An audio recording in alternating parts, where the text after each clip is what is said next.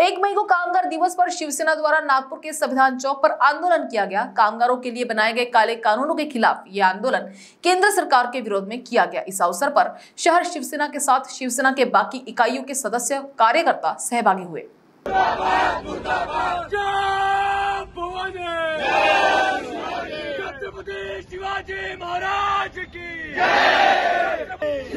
मोदी सरकार मुर्दाबाद मुर्दाबाद सरकार मुर्दाबाद मुर्दाबाद मुर्दाबाद कामगारों के सरकार मुर्दाबाद मुर्दाबाद मुर्दाबाद केंद्र सरकार मुर्दाबाद मुर्दाबाद मुर्दाबाद अरविंद सावंत साहब आगे बढ़ो हम तुम्हारे साथ हैं अरविंद सावंत साहब आगे बढ़ो जय शिवाजी जय जय जय जय जय पाणी जय जय जय जय जय शिवाजी एक मे हा दिवस दुहेरी महत्त्वाचा आहे साठच्या दशकात संयुक्त महाराष्ट्राची स्थापना या दिवशी झाली. महाराष्ट्राचा मंगल कलश या दिवशी आला महाराष्ट्रात त्याचप्रमाणे एक मे हा कामगार दिन म्हणून साजरा करतो. आता कामगार दिनी काय चाललेलं आहे या देशात?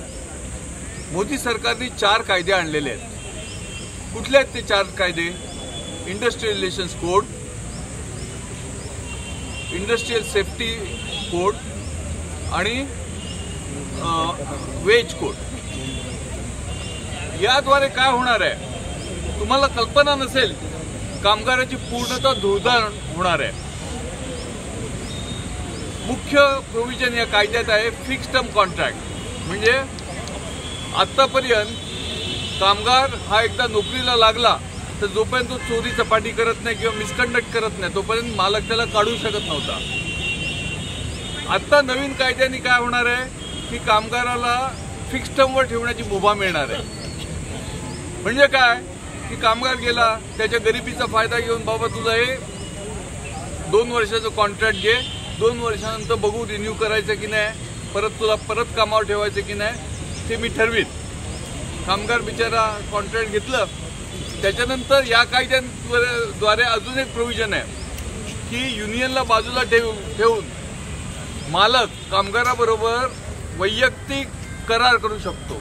मग पहिल्यांदी देणार कॉन्ट्रॅक्ट त्यानंतर मग हा पण कागद सही कर. तो काय असणार आहे? वैयक्तिक करा कामगाराबरोबरचा.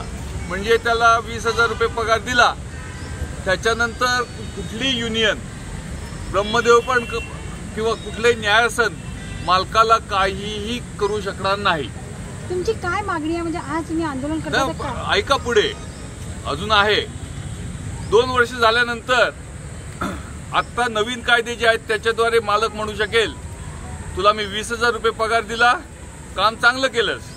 पण आता तुझ्यासारखे बरेच लोक आहेत.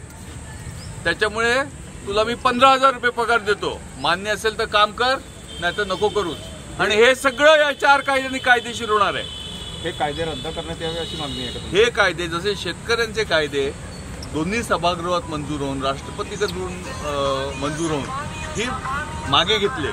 त्याचप्रमाणे हे चारही कायदे मागे घ्यावे ही आमची मुख्य मागणी आहे. आणि त्याच्यासाठी शिवसेना कटिबद्ध. कामगार सेना इनके मार्गदर्शन में आदरणीय दुष्यंत चतुर्वेदी जी संपर्क संप- संपर्क प्रमुख नागपुर विधायक श्री दुष्यंत चतुर्वेदी जी, इनके मार्गदर्शन में संतोष सारके साहब जो हमारे महासचिव, राष्ट्रीय महासचिव हैं भारतीय कामगार सेना के एवं भारतीय कामगार महासंघ के, इनके नेतृत्व में आज सभी शिवसेना के पदाधिकारियों प्रमुख पदाधिकारियों द्वारा नगर सेवकाताई, जिला संगठन का महिला आघाड़ी, जिला संगठन कामगार सेना हमारे सुरेश साहब, शहर प्रमुख, इन शिवसेना, इनके सबके और भारतीय कामगार सेना की मनापुरम की यूनिट घन कचरा यूनिट यहाँ पर आशीष लेने जी हैं, आप भूपेंद्र कटाने, इन सब की मौजूदगी में आज भारतीय कामगार सेना का एक आंदोलन किया गया, जिसमें शिवसेना पूरी पार्टी से खड़ी है भारतीय कामगार सेना, जिसमें केंद्रीय सरकार ने कुछ काले कानून लाए।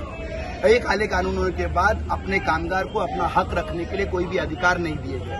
भारत, मोदी सरकार की यह नीति जो कामगारों को कुचलने की है, ये भारत का प्रत्येक कामगार हराशायी हो जाएगा। अपाहिज हो जाएगा, अपंग हो जाएगा, क्योंकि कायदे की तरदूत में उनके लिए सहायता करने के लिए किसी भी प्रकार का यूनियन का कोई सपोर्ट नहीं रहा है। इसलिए आज इस काले कानून का जिस प्रकार से कृषि कानून दोनों संसदों में पारित हुए, उसके बाद राष्ट्रपति ने उनको मोहर लगाया, उसके बाद रास्ते के किसानों के आंदोलन ने वो कायदे रद्द करवाए। ठीक उसी की तर्ज पर भारतीय कामगार सेना ने पुढाकार लिया। कामगारों के अधिकारों के रक्षण के लिए आज ये आंदोलन किया गया। ये कानून रद्द करने की अपील की गई केंद्र सरकार से। यदि नहीं हुआ